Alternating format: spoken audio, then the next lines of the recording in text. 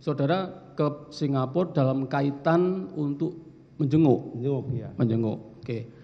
Pada waktu itu saudara langsung bertemu Pak Lukas di rumah sakit ataukah melalui orang tertentu yang menghubungkan Melalui saudara Pak, dengan Pak Frans Manibui. Pak Frans Manibui? Nah, beliau kebetulan dia ada di Singapura. Mm-mm. Pak Frans Manibui dalam kaitan apa di Singapura? Saya tidak tahu. Tidak tahu. Nah, Nah, baik. Nah, di situ setahu saudara, apakah terdakwa memang berobat di Singapura? Iya. Apakah mau berobat? iya memang betul. Ada aktivitas lain selain berobat? Saya tidak tahu, tapi saya tahu dia berobat. Saya pergi itu karena beliau ada sakit waktu itu. Oke, baik. Saya izin bacakan lagi yang mulia di BAP nomor 33. Ini mengingatkan keterangan keterangan eh, saksi.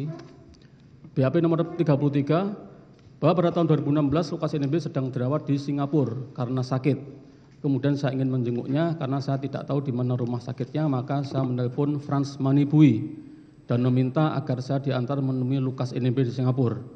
Saat itu Frans Manibui memang sedang berada di Singapura bersama dengan Lukas NMB. Frans Manibui sendiri setahu saya punya apartemen di Singapura yang sering menemani Lukas NMB berjudi di Singapura. Kemudian kemudian saya pergi ke Singapura dari Jakarta bersama dengan istri saya, Juliana Uria Suegas, untuk menjenguk Lukas NMB. Kemudian saya bersama istri menginap, di sebuah hotel di Jalan Orchard, Singapura. Kemudian saya telepon Frans Manibui agar menjemput saya dan mengantarkan saya bertemu dengan Lukas NMB. Kemudian saya dijemput taksi dan mengantar saya bertemu dengan Frans Manibui di kasino Marina Bay Sun MBS. Saat itu Frans Manibui sedang berjudi di kasino MBS. Kemudian saya bertemu dengan Frans Manibui di lobi kasino MBS dan saya diantar oleh Frans Manibui bertemu dengan Lukas NMB di sebuah hotel di komplek MBS. Saat itu saya bersama dengan istri saya dan Frans Manibui juga membawa beberapa teman-temannya.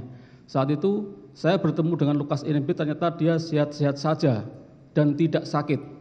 Lukas NMB ke Singapura hanya untuk berjudi saja. Saat itu saya, saat itu saya tidak ngobrol terlalu banyak dengan Lukas NMB karena ada banyak orang di sana dan saya juga membawa istri saya. Setelah bertemu dengan Lukas NMB, kemudian saya bersama dengan istri makan malam dengan Frans Manibui. Esok harinya saya bersama dengan istri pulang ke Indonesia melalui Jakarta dan langsung terbang ke Jayapura. Akomodasi pesawat dan hotel serta konsumsi menggunakan uang saya dan istri. Betul itu?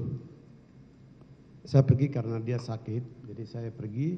Entah beliau sudah berobat lalu pulang ke hotel atau masih menunggu berobat, saya tidak tahu. Tapi saya tahu saya pergi karena Pak Lukas sakit. Ini keterangan saudara yang menyebutkan Sebentar, sebentar ya.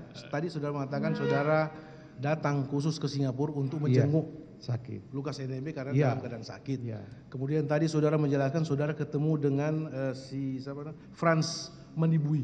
Iya untuk Manibui ya. Iya. Frans Manibui kemudian saudara diantar ke salah satu eh, tempat perjudian kasino. Eh, bukan.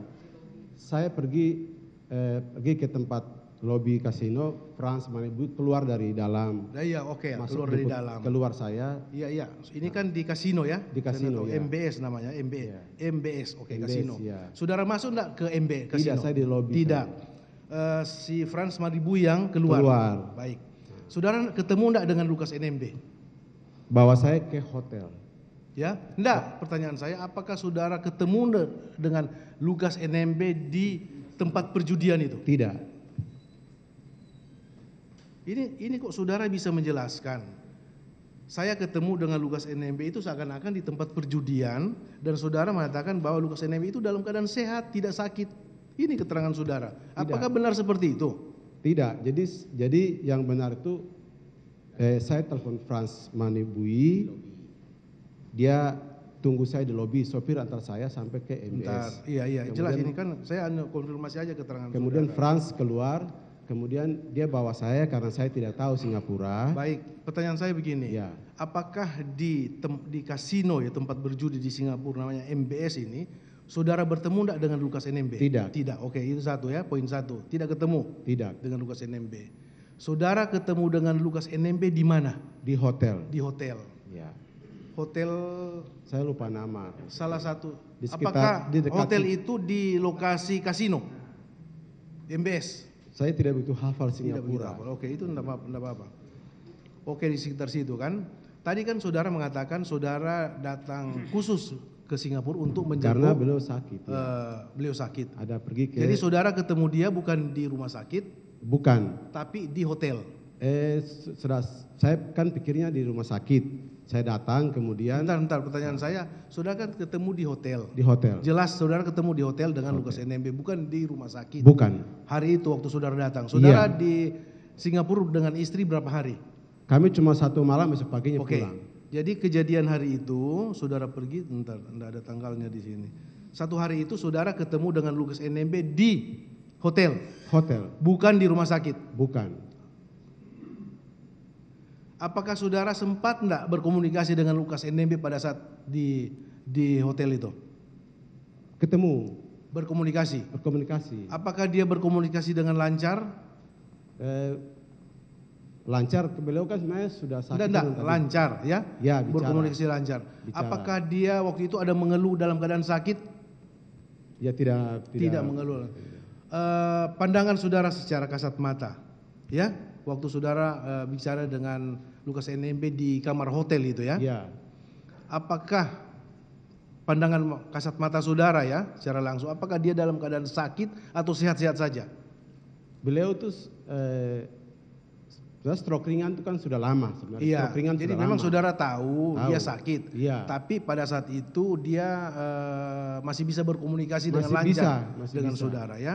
Masih bisa. Apakah kemudian besoknya saudara kembali dia eh, masuk rumah sakit atau tidak? Saudara tidak tahu. Tidak tahu lagi. Tidak tahu lagi ya. Tidak tahu lagi. Yang jelas saudara ketemu hari itu di hotel Iya. kamar kamar hotel di Singapura. Iya. Apakah saudara eh, sering mendengar enggak kalau Lukas NMB datang ke Singapura itu ketemu dengan eh, Franz Manibui itu diajak main judi di salah satu kasino. Kalau mendengar iya, Saudara pernah mendengar, Mendengar, tapi iya. tidak melihat secara tidak langsung. melihat.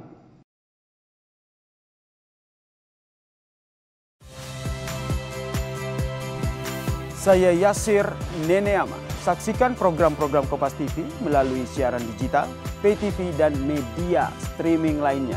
Kompas TV, independen, terpercaya.